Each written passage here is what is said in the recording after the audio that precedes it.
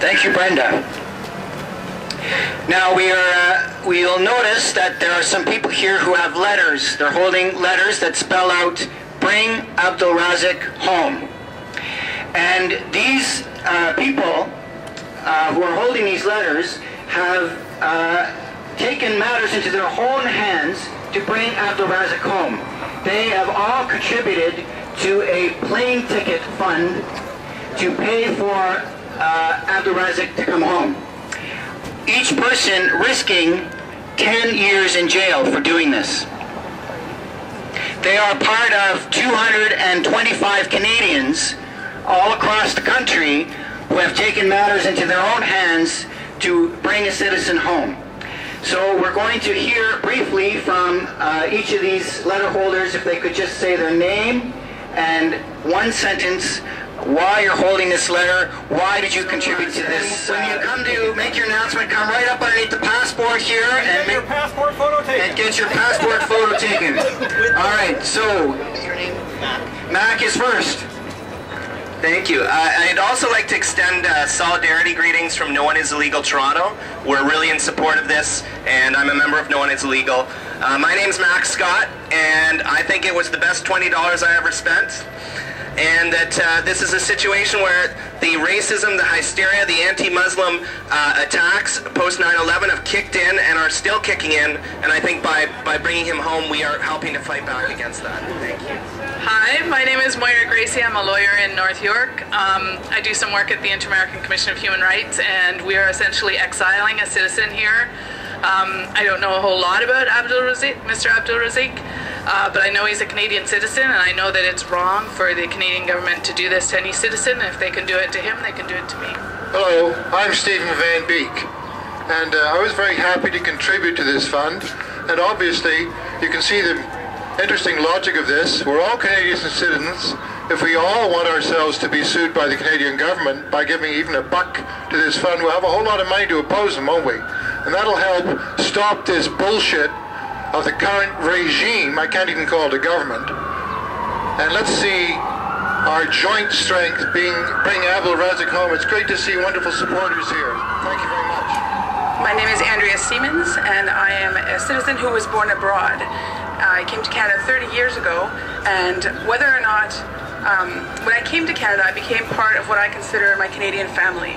And Abdelrazik is part of that family, and I'd like him returned home and to have the same protection that I have, which is the most fundamental protection in my Canadian citizenship, is the internationally recognized right to return home.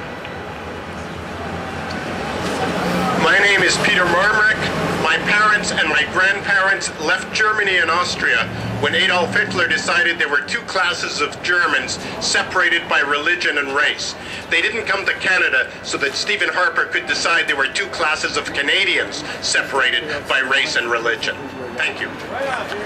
My name is Melissa Williams. I'm a professor at the University of Toronto. Like a professor, I'm going to quote a philosopher, Hannah Arendt, said citizenship is the right to have rights. Mr. Abdelrazik's rights as a citizen and his rights to, to, to be to have his his other fundamental human rights respected uh, are, are being denied. And as a citizen who cares about democracy, the rule of law, and human rights, I felt it was important to do my small part. My name is Terry Walker, and I'm here because I believe that my rights as a citizen are in jeopardy. They're in jeopardy because Mr. Abdul a citizen's rights, are being denied. I believe that it's my obligation as a citizen to be here because the current government is breaking the law. My name is Allison Murray. Um, I contributed to the fund and I'm here today for simple reasons.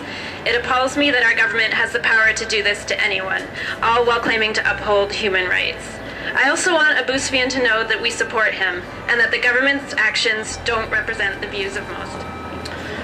My name is Nadim Alauji from Kitchener, and um, I supported this campaign initially because I was disturbed by the poor response of our government. Uh, when the government reneged on their pledge, uh, I was really upset and also shocked as well.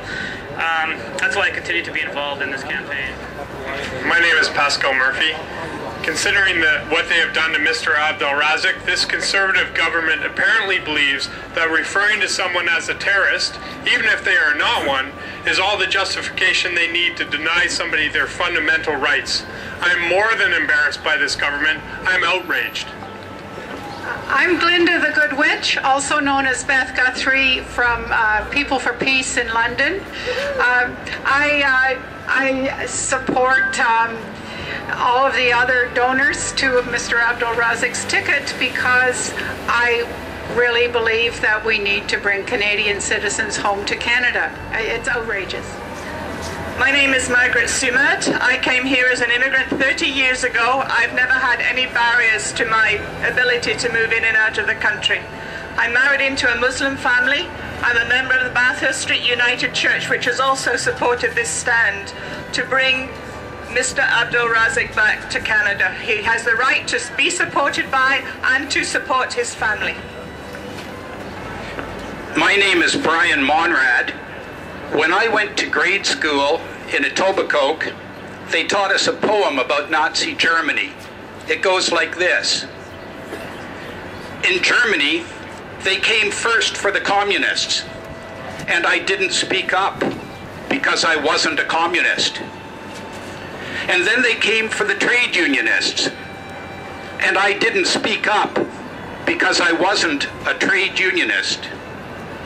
And then they came for the Jews, and I didn't speak up because I wasn't a Jew. And then, then they came for me. And by that time, there was no one left to speak up. Stephen Harper went to the same grade schools in Etobicoke. He obviously didn't learn his civics lessons. Thank you. My name is Albert Breton, professor from University of Toronto. I participated and I participate in this event today because I think that when you make a promise repeatedly, promises repeatedly, and you renege on them, you're really engaged in a policy of cruelty. And we have a very cruel government. My name is Margot Breton. I'm an emerita professor of social work. Lyon, and Glinda's here. And uh, since uh, I'm on my way to Oz to get a heart, my message to uh, Minister Cannon and the Prime Minister and uh, our government is get a heart.